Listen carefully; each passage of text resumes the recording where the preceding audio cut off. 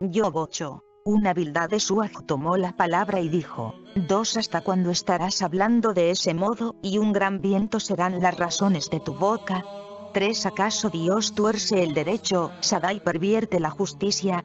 Cuatro si tus hijos pecaron contra él, ya los dejó a merced de sus delitos. 5 más si tú a Dios recurres e imploras a Sadai, 6 si eres irreprochable y recto, desde ahora Él velará sobre ti y restaurará tu morada de justicia. 7. Tu pasado parecerá insignificante al lado de tu espléndido futuro. 8. Pregunta, si no, a la generación pasada, medita en la experiencia de sus padres. 9. Nosotros de ayer somos y no sabemos nada, como una sombra nuestros días en la tierra.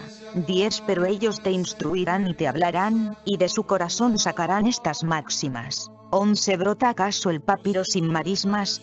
¿Crece sin agua el junco?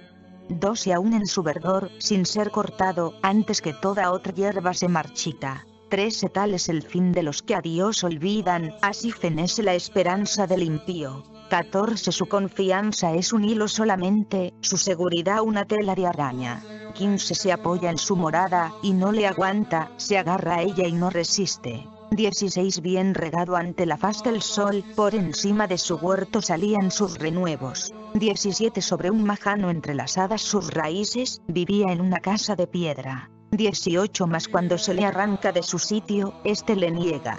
No te he visto jamás. 19 Y vedle ya cómo se pudre en el camino, mientras que del suelo brotan otros. 20 No, Dios no rechaza al íntegro, ni da la mano a los malvados. 21 La risa ha de llenar aún tu boca y tus labios el clamor de júbilo. 22 Tus enemigos serán cubiertos de vergüenza, y desaparecerá la tienda de los malos.